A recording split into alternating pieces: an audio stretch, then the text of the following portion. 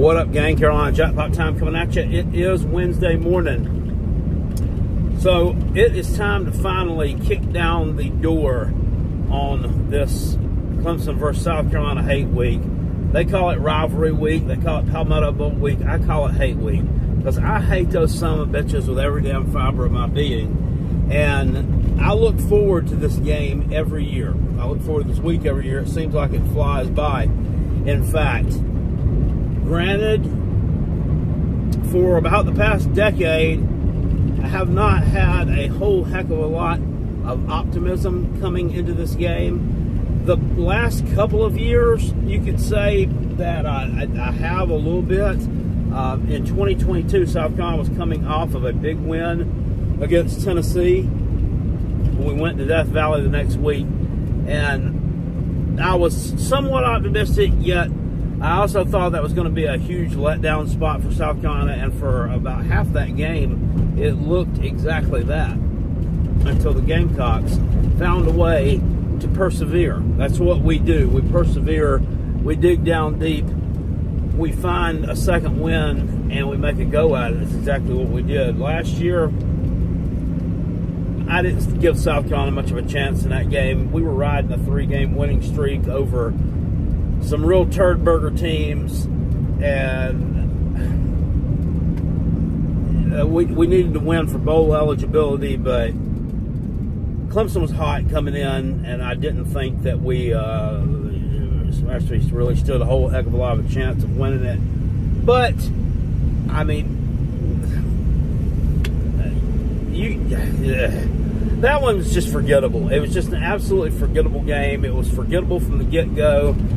Uh, South Carolina kind of got screwed uh, by an official at the beginning of that game who ruled the Spencer Rattler pass what the backwards lateral it wasn't. Uh, it was on the plane, uh, so it was a 50-50 ball. It shouldn't have been called the way it was. It was an incomplete pass. But they said it was a fumble, and they picked it up, took it in for a touchdown, and that I mean that was the only points Clemson scored in terms of a touchdown the entire game. They got some field goals from a fellow that I like to refer to as Frosty Tips, some field goal kicker. Clemson Dabo went and got off the Wall Street because apparently he'd already graduated from Clemson. Got him to come back as a grad student the second week of the season after it was determined that their kicking game was horseshit.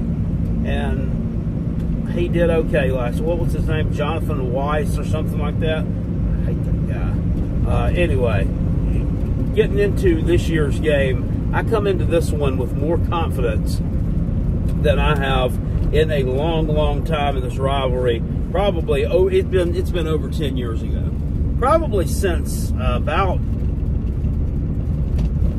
I don't know I would probably say at least since 2012 It was 2013 South Carolina beat Clemson in Columbia. And that was the last time they beat them before that win back in 22 and I think Clemson was ranked number six coming in we were ranked number 10 but we've had some disappointing losses we lost that year I think on the road at Georgia uh, went and where South Carolina had the better team, uh, and we dropped that game at UGA. If there's any UGA fans out there listening, yeah, screw you. We had the better team that year. We just lost that game. Uh, and then we lost a road game at Tennessee where South Carolina obviously had the better team.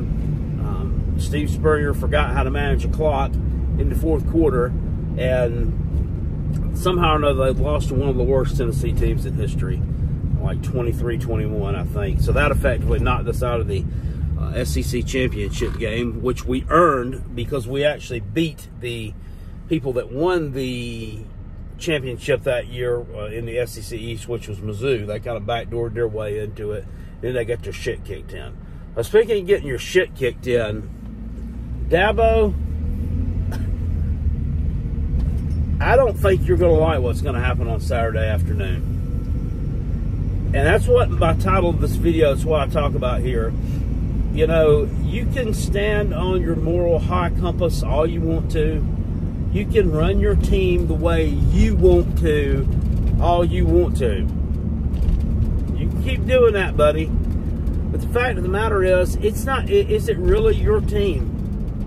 Is it really? Is it really yours? Yeah, they're paying you the salary But I mean, who's pulling the strings? Not you. It's someone above you. And look, you're going to have to get with the program and start doing this college football thing the way everybody else is doing this college football thing, buddy. What you're going to have on Saturday afternoon is some transfers in Rocket Sanders, some other transfers on the defensive side of the football, Kyle Kennard, Demetrius Bam Knight. You're going to have these transfers, transfer wide receivers, transfer tight end, kick your ass. That's essentially what happened two years ago, wasn't it? A transfer quarterback, a transfer wide receiver whose name we won't mention a lot. A transfer, a transfer backup tight end slash utility guy in Nate Adkins, who kicked your ass two years ago. But you won't take any transfers. The only transfers you'll take are the ones from high school. It's over, buddy. It's over for you. It's over. The uh, the old archaic dying dinosaur fuddy-duddy black and white Andy Griffith Petticoat Junction way of playing football does not work in 2024. It's not going to work Saturday afternoon. look, this team is the, the, South Carolina team is as hot as I've seen them in a while. And then I, you still get the occasional dumb shit over on Twitter, over on the YouTube comment section, because you know the YouTube comment section knows everything there is to know about the game of Hut Hut. The YouTube comment section who will tell you ain't played nobody. They ain't done that. What? But look at that. LaNorris Sellers leads the nation in fumbles. That's that's what uh, my podcast partner Rob Sanders. That's all I ever hear come out of his nasty suckhole. LaNorris Sellers lead the nation in fumbles. How about LaNorris Sellers also leading the nation in touchdown passes? How about LaNorris Sellers is also one of the hottest quarterbacks in the country, the hottest young quarterbacks in the country. People are saying he's the best young quarterback in the SEC, along with DJ Lagway. People saying he's better than Nico. Nico's a bust. LaNorris Sellers is to him. They've got him ranked like uh, you've got CBS people writers who've got Lenore Sellers ranked like the number five, six quarterback in the country right now. That pisses you off, doesn't it? Pisses you off because Cade Klubnik and his 50-yard touchdown run against Pitt is not being recognized. Well, boo-hoo. Well, boo-hoo. Go cry some more. But then I have there's some other national. They're not media people, uh, but uh, you know, I listen to these podcasts sometimes that do uh, that offer uh, picks against the spread, gambling advice, or whatever. And you know, I don't pay for any of that stuff. Obviously, I just listen to it for entertainment because I have a lot of windshield time here on my drive, and I got to do uh, something to keep myself entertained. Or you'll you'll go nuts. You can't stare at the can't stare at the scenery all the time. And they it, seems to be split 50-50 no matter where you look. You got some people who think south carolina's a better team. These are the ones that actually watch football. And then you've got one there's one guy that that covers like mid-major teams. He covers like a group of five schools from the, the, from the AAC to something mid-major Matt, what he's called. I heard him talk about. Uh, I'm to lean Clemson because they're at home and their their defense is finally playing really good and uh, oh, they're really hot right now. They're hot, are they? Did they just lose to Louisville about a month ago? They're hot. Their defense is playing good. They gave up almost 300 yards rushing to the Citadel. Sure, don't do nothing but run the ball, Carolina jackpot. We did most. We gave most of it up in second half. I don't care. You gave up 300 something yards to the Citadel. Defense is trash. Your run defense sucks. You suck. You suck. Period. Your whole team sucks. Y'all ain't good. Y'all ain't good. your offense would be average as shit if it was in the SEC. It's in the ACC, so it's a little bit above average. It's one of the better ones. Look at the quality of competition you play versus the quality of competition South Carolina plays. That's where the game's going to be won at. And I, and I hate to say it too, the game's going to be won on the line of scrimmage, and we're going to whip your ass on the line of scrimmage. We're going to whip your ass on the line of scrimmage. South Carolina has not been able to say that to Clemson in years. We're going to whip your ass on the line of scrimmage. Our defensive line is going to whip your offensive line's ass. Number one, because they're better than them. Number two, because you're missing half of them with injury. Nobody's talking about that, though. We're talking about how Clemson finally found a defense. Okay, where'd they find it at? Kmart? That shit went bankrupt years ago. Kind of like Dabo's coaching career. Our offensive line is going to whip your defensive line's ass. This will be their best performance all year on Saturday. Mark it down. Mark it down. I don't stutter when I say it. Mark it down offensive line, best performance of the year will come this Saturday, November 30th at high noon in your shithole. I'm, I'm serious about this one. I'm, I'm really excited about this game. Uh, it's a 12 noon kickoff. It's fine with me. It's fine with me. I can get up, get ready, get my stuff set up, get going, and then watch my team kick the living shit out of Dabo, and then watch some other good college football games all day long. That's what I plan on doing. Because this is not the this is not going to be the loss, Dabo, that you want. It's not going to be necessarily the loss that you're asking for. This is going to be the loss, sir, that you need. This is going to be the loss that you need to finally get through that hard chocolate candy cover coated shell skull of yours. I don't know why I just said that. It didn't make any sense. This is going to be the loss you need to get through that noggin of yours, Dabo. Finally, they people have talked to you. I know the athletic department's talked to you. I know that your fans has talked to you. They do it quite frequently. Remember Tyler from Spartanburg? Yeah, I guess Tyler from Spartanburg went away because y'all knocked off Notre Dame last year and uh, you beat off a couple of ACC teams with losing records. I beat Tony Elliott. So, uh, I beat Dave Doeren on a down year. Um, So Tyler from Spartanburg went away, so you're not having to listen to the fans anymore. You canceled your call-in show. Canceled your call-in show because you don't want to hear what the fans have to say because you're too much of an arrogant prick to listen to opinions of people that you perceive to be beneath you.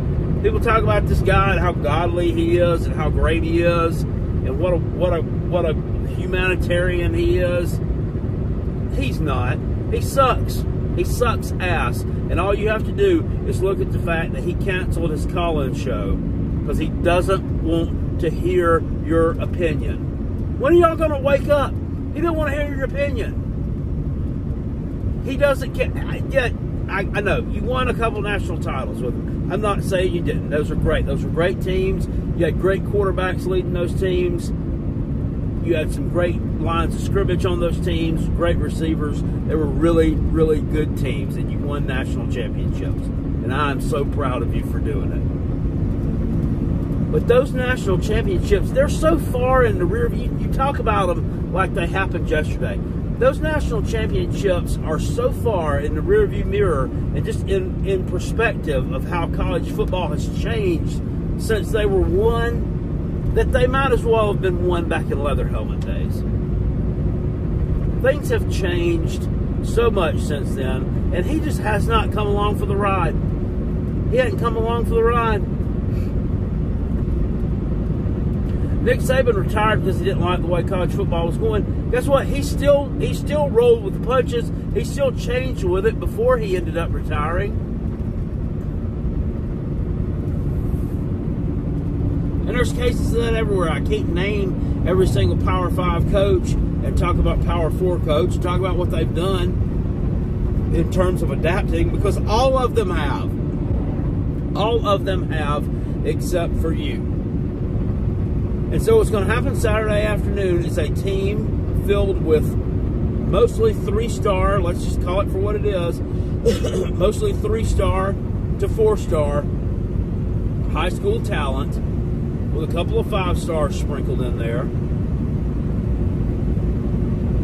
And a heavy dose, not a, not a heavy dose, a medium heavy dose of transfer portal impact players selected carefully by a coaching staff who knows what to look for knows what kind of kids that we need, knows who we want as part of our culture, knows who's going to buy into our culture, knows who's going to be productive, knows where our weaknesses are, knows where our strengths are, have been handpicked, selected, brought in for this moment right here.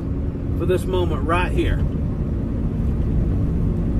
Is going to kick your ass. And then you're finally going to wake up and smell the Folgers and realize that you need to adapt to what college football has become or step aside and let somebody else do it.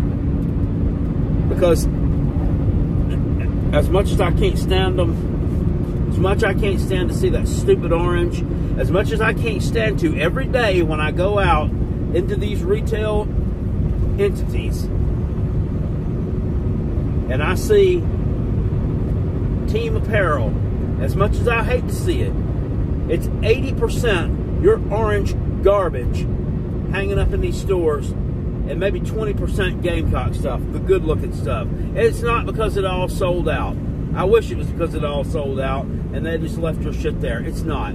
They, they still think that they're the superior being up here. However, when I wear this out, everybody looks at it. Everybody, you know why? Because I look good in it. You know why I look good in it? It's because it makes me look good. I don't look good. It makes me look good.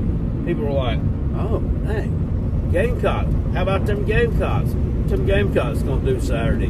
Gamecock's been looking good lately. Hey, so do you, Mr. Tater Chip Man.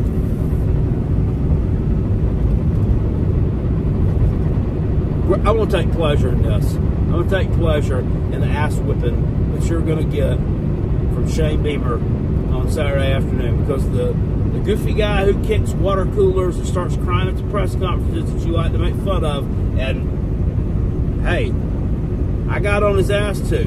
I've gotten on his ass too. But he's proven me wrong a little bit this year. He's proven me wrong a little bit this year. He's going to slap you around a little bit in your place. South Carolina about two touchdowns Saturday afternoon ahead, get you a chisel out, get you a piece of stone out for me. I'm going to chisel it out there for you. That's how confident I am in that taking place. Write it down, take a picture. I don't give a fuck. You know what the saying goes. South Carolina, I'm saying 31, Taters 17. Have a great day. I'll see y'all later. Peace, and I'm out of here. Go Gamecocks. Ah, ah, ah. Woo!